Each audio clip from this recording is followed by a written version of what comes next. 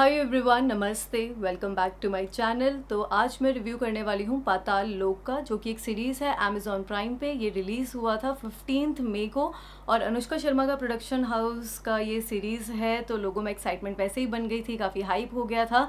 और ऑनेस्टली बताऊँ तो मुझे भी लगा कि नहीं, उनके प्रोडक्शन हाउस की सीरीज़ है तो देखना चाहिए। बट दूसरा रीज़न था ये भी कि जयदीप अहलावत को देखना था। उनको मैंने पहली बार गैंग्स ऑफ़ वसेपुर में देखा था। थोड़ा सा ही रोल था उनका, शाहिद खान का, जो मनोज बाजपेयी के फादर बने थे उसमें तो मुझे तभी देखकर लगा कि मुझे इस एक्टर को देखना है, और देखना है, और फ़िल्मों में देखना है या सीरीज़ में ही सही, पर यहाँ पर ये लीड रोल में है, और उन्होंने पूरा जस्टिस करा है अपने कैरेक्टर के साथ। इनफैक्ट जितने भी एक्टर्स हैं इस सीरीज़ में सबने जस्टिस करा है अपने रोल के साथ। पाताल लोग नाम सुन के आपको लगेगा कि ये कोई हॉरर सीरीज़ है, पर यह हॉरर सीरीज़ नहीं है। इसमें क्राइम है, सस्पेंस है, थ्रिलर है, और इतनी बढ़िया स्क्रिप्ट है ना। मतलब आप जब ये सीरीज़ स्टार्ट होगी ना, पहला एपिसोड आप देखोगे तो आपको लगेगा कि यार बहुत ही प्रिडिक्टेबल है, पुलिस है क्राइम हो रहा है, पकड़ लेते हैं, फिर कुछ ड्रामा चलता रहेगा। तो यूजुअल ड्रामा वैसा वाला ड्रामा नहीं है। आप देखेंगे तो आपको पता चलेगा कि कितनी हटके है इसकी स्क्रिप्ट क्योंकि काफ़ी लोग इसे कंपेयर कर रहे हैं सेक्रेट गेम्स से। तो सीक्रेट गेम्स में मुझे लगता है कि थोड़ा सा फिक्शन ज़्यादा था अच्छा था वो भी, पर फिक्शन वहाँ ज़्यादा था। और मिर्ज़ापुर से भी इसे कंपेयर करा जा रहा है। तो देखिए, मिर्ज़ापुर भी मुझे अच्छा लगा था, पर सबकी अपनी चॉइस है। मुझे ये मिर्ज़ापुर से बहुत बहुत ज़्यादा बेटर लगा। तो अब आते हैं सीरीज़ की कहानी पर। तो पूरी कहानी तो मैं यहाँ पर आपको नहीं बताऊँगी, पर थोड़ा सा ब्रीफ में बता देती हूँ, जो आपने ट्रेलर में भी देखा होगा कि ये दुनिया बटी हुई है। तीन लोकों में स्वर्ग लोक, धरती लोक और पाताल लोक। तो स्वर्ग लोक यहाँ पर रेफर करा गया है उन अपर क्लास हाई क्लास लोगों से जिनके पास बहुत ज़्यादा पैसा है पावर है business class politician high profile लोग हाई प्रोफ़ाइल जर्नलिस्ट फिर धरती लोग के लोग आ जाते हैं, जो कि मिडिल क्लास लोग हैं। दीप अलावत, हाथीराम चौधरी तो वो सुलझा रहा होता है उन उलझनों को जो उलझने पैदा कर दी है स्वर्ग लोक और पाताल लोक के लोगों ने।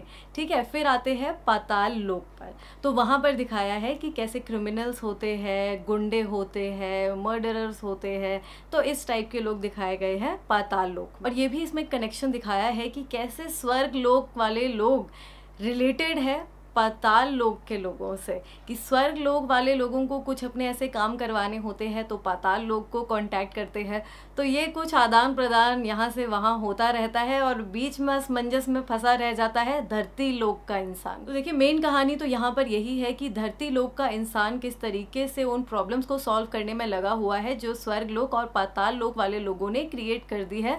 पर यहाँ पे छोटी छोटी कहानियाँ भी दिखाई गई है स्वर्ग लोगों की भी जो अपर क्लास हाई क्लास लोग हैं, उनकी भी प्रॉब्लम्स दिखाई है छोटी छोटी कहानियों में और यहाँ पर पाताल लोग, जो क्रिमिनल्स है, वो क्रिमिनल क्यों बने? उनका हिस्ट्री भी दिखाया है, उनका बचपन दिखाया है या उनका पास भी दिखाया है कि क्या ऐसी मजबूरी रही, क्या ऐसी उनकी लाइफ में प्रॉब्लम थी साइकोलॉजी आप समझ रहे हैं तो ये चीज़ भी दिखाया है उसमें, जो कि मुझे बहुत ही अच्छी लगी कि वो इंसान जो क्रिमिनल है, वो क्रिमिनल क्यों बना? और जैसा मैंने आपको बताया कि सीरीज़ में और भी छोटी छोटी कहानियाँ हैं, जैसे जो वो अपर क्लास जर्नलिस्ट होता है, उसका वाइफ का रोल प्ले करा है स्वास्तिका मुखर्जी ने। उनकी भी कहानियाँ बहुत ही छोटी है, पर दिखाया है कि किस तरीके से वो एनजाइटी रहती है, उसको डिप्रेशन रहता है, पति का प्यार नहीं मिलता है तो वो कुत्तों में अपना स्ट्रीट डॉग्स में प्यार ढूँढने लगती है, अपनापन ढूँढने लगती है, क्योंकि हस्बैंड का अफेयर चल रहा होता है। छोटी कहानी है, पर इम्पैक्टफुल है, होता है ऐसा तो वो दिखाया है।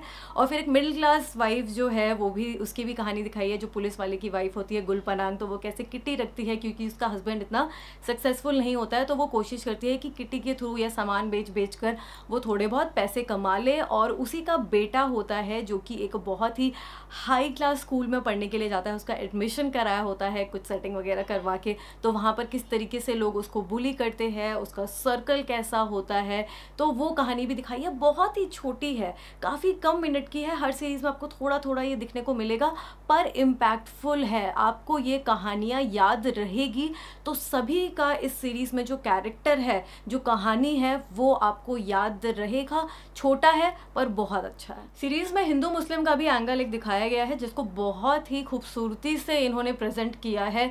कुछ भी ऐसा नहीं है कि किसी के सेंटिमेंट्स को ये हर्ट करे, मुझे बिल्कुल भी ऐसा नहीं लगता है। मैंने देखा ट्विटर पे कई लोग ऐसा लिख रहे हैं या कई लोग ऐसा बोल रहे हैं कि नहीं लेफ्टिस्ट प्रोपेगेंडा है तो बिल्कुल गलत बोल रहे हैं, ये तिल का ताड़ बनाने वाली बात है। कुछ भी ऐसा नहीं है। बहुत ही अच्छे तरीके से उन्होंने उसको प्रेजेंट करा है। एक कहानी जो एक कहानी की तरह पिरो के वो चीज़ दिखाई है, इसमें एक दो मिनट का है और ऐसा नहीं है कि उस पर फोकस करा हो उस पर ही एकदम बहुत ज़्यादा फोकस कर दिया हो तब तो हम बोल सकते थे, पर ऐसा नहीं करा गया है। उस पर फोकस नहीं है, सिर्फ़ एक दो मिनट का है जो कहानी में रिक्वायर्ड था बिल्कुल। तो कुछ भी ऐसा लेफ्टिस्ट प्रोपेगेंडा ये नहीं है। तो सीरीज़ में ये जो चार क्रिमिनल्स होते हैं, मैं थोड़ा सा इनका आपको बता देती हूँ कि इनको आतंकवादी घोषित कर दिया जाता है। ये क्रिमिनल्स तो होते हैं, पर ऐसा नहीं होता कि आतंकवादी होते हैं तो कुछ जो हायर अथॉरिटीज़ होते हैं पॉलिटिशियंस होते हैं जर्नलिस्ट होते हैं, अपने फ़ायदे के लिए, अपनी वाहवाही के लिए इनको आतंकवादी बना देती है। बेफालतू मैं ये दिखाना चाहती है दुनिया के आगे कि देखो हमने तो कितना बड़ा केस सॉल्व कर दिया है। तो ये चीज़ देखो एग्जिस्ट करती है। सबको नहीं कह रही हूँ, पर थोड़ा बहुत ऐसा होता है। लोग ऐसे है सिस्टम में जो कि ऐसे काम करते हैं। तो वो चीज़ दिखाई गई है इसमें तो मुझे ये कहानी काफ़ी अच्छी लगी और ये जो चारों क्रिमिनल्स बने ना तो उसमें आकाश बैनर्जी भी है जो कि आपने जिनको स्त्री में देखा होगा तो उनका रोल जो है, उनका कैरेक्टर आपको याद रहेगा, पर मैं चाहती थी कि और उनके कैरेक्टर को देखूँ तो इतना नहीं दिखाया गया है, क्योंकि मुझे बड़ी एक्सपेक्टेशन थी, उनसे अच्छे एक्टर है, पर उनका रोल इतना नहीं था, और थोड़ा सा लास्ट में कहीं पर मैं एक डिसअपॉइंटमेंट हो गई थी। आप खुद देखना तो आपको पता चल जाएगा, नहीं तो सारा सस्पेंस यहीं पर खुल जाएगा। तो आप देखना वो चीज़। और एक और कैरेक्टर है इसमें, जो तोप सिंह का है, मेरे ख्याल से कोई कुछ सांधु नाम है जगदीप या जगजीत सांधु नाम है उस एक्टर का। तो उसने भी काफ़ी अच्छी एक्टिंग करी है और मुझे लग रहा है कि अगर सीज़न टू आता है, जो कि मेरे ख्याल से इतनी रिक्वायरमेंट नहीं है, क्योंकि सीज़न वन में ही आपको इतनी संतुष्टि, इतनी सेटिस्फेक्शन मिलेगी कि नहीं, एक कहानी हमने देखी और वो ख़त्म हो चुकी है। पर अगर सीज़न टू आता है तो मुझे लगता है कि जो, ये जो तोप सिंह का कैरेक्टर है, उसको सीज़न टू में अच्छा खासा रोल मिलेगा, क्योंकि मुझे लग रहा था कि ये इंसान अच्छी एक्टिंग कर सकता है। हीरो तो वैसे हमारे यहाँ पर जयदीप अलावत ही है, जिन्होंने हाथीराम चौधरी का कैरेक्टर प्ले करा है बहुत ही अच्छे से उन्होंने अपना रोल निभाया है। बहुत अच्छा लगा उन्हें देखकर। और एक सीन आता है ये सीन मैं आपको बताना चाहती हूँ जब वो एक आ, उसमें एपिसोड होता है ब्लैक विडो का। तो ब्लैक विडो के बारे में आपने शायद मेरे ख्याल से गेम ऑफ़ थ्रोन्स में भी सुना होगा। तो ब्लैक विडो जो होती है वो फिजिकली ल्योर करती है आदमियों को अपने काम निकलवाने के लिए। तो जब हाथीराम चौधरी एक होटल रूम में उस लेडी के साथ होता है कुछ इन्वेस्टिगेशन के लिए तब मुझे थोड़ा सा इससे धक धक हो रहा होता है कि कहीं ये पिघल ना जाए। पर वो सख्त रहा और वहाँ से निकल गया। मेरा दिल खुश हो गया था ये सीन देखकर and I was literally smiling at that time I was happy कि अच्छा हुआ, ये हुआ।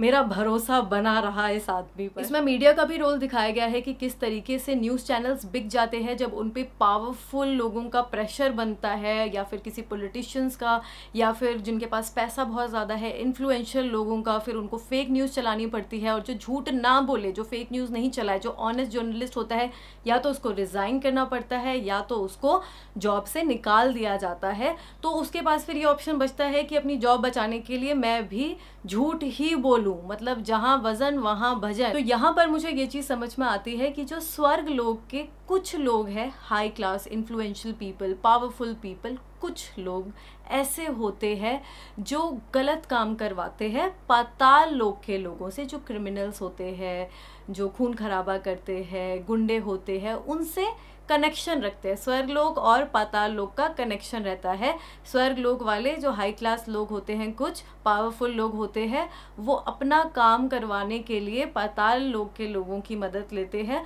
और फिर ये जो गलत काम होता है क्राइम होता है, उसमें फंसता कौन है? पाताल लोक का निवासी।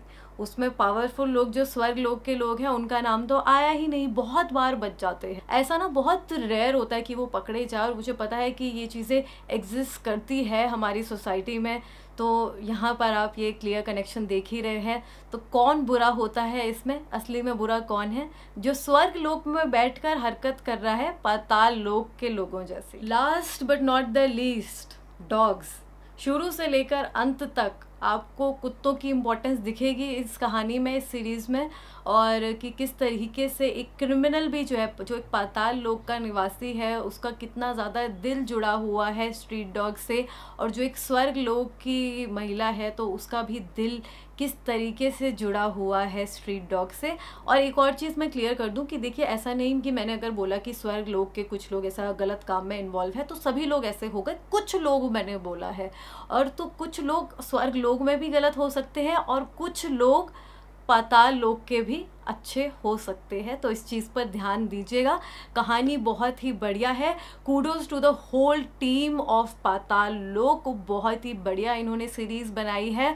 और सबसे ज़्यादा बढ़िया है सुदीप शर्मा, जिन्होंने ये कहानी लिखी है स्क्रिप्ट उन्होंने ही लिखी है। बहुत ही अच्छी कहानी है। तो इस सीरीज़ को आप बिल्कुल देख सकते हैं। पाँच में से मैं इसे साढ़े चार स्टार्स दूँगी। तो बस इतना ही इस रिव्यू के लिए और अगर आपको ये पसंद आया होगा सो लाइक शेयर और कमेंट करके मुझे बताना अगर आपने ये सीरीज़ देख ली है। तो बताना कि आपको ये कैसा लगा और चैनल को सब्सक्राइब कर लेना अगर आपने अभी तक नहीं किया है। मेरे सोशल मीडिया पर भी आप मुझे फॉलो कर सकते हैं। उन सबके लिंक्स नीचे डिस्क्रिप्शन बॉक्स में होंगे। तो बस अब मैं जाती हूँ। जल्दी मिलती हूँ अपनी नेक्स्ट वीडियो में। तब तक के लिए टेक केयर बाय